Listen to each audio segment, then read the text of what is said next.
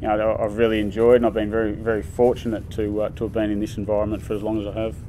So uh, yeah, I, I, told told the guys in the team meeting. I think it was pretty quick. I think they had a bit of a laugh. I went through strategy, and then then I said uh, I'd be retiring, but uh, you know, I'll, get a bit emotional in front of the boys. So uh, I tried to make it as quick as possible.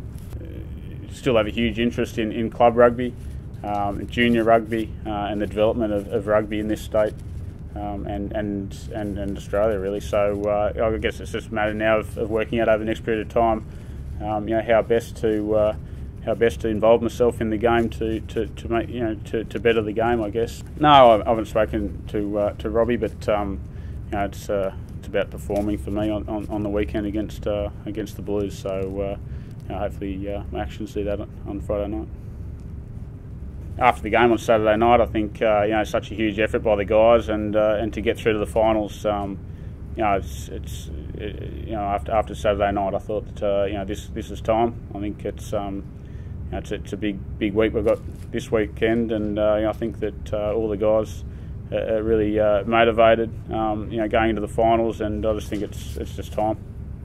You know, playing home semi-finals here, um, playing playing in front of a, a full house at Sydney Football Stadium, um, you know, and, and, and performing well uh, in, in in that arena, I think is uh, is probably what I've enjoyed the most.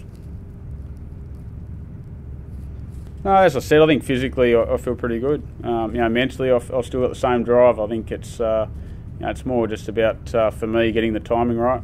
I think uh, you know, as I said, at 31. Um, you know, it's probably a good age to enter the workforce. Um, you know, I'm still relatively young in terms of, of learning um, in the corporate world, and, uh, and, it's just a matter now, I guess, of uh, of entering that that workforce and uh, and hopefully being successful in that arena as well. So uh, I think it's just about a matter of, uh, I guess, life balance in a way you know, I've put probably everything I possibly can into into playing for the Waratahs, and uh, and I'll, I'll, continue putting everything I possibly can into playing for the Waratahs, and uh, and, and and putting my name up for selection for the Wallabies. And uh, you know, I just feel like, as I said, it's uh, it's time to to go to the next chapter of my life, and uh, and that's uh, you know that's in business, and and now's the right time to to finish playing.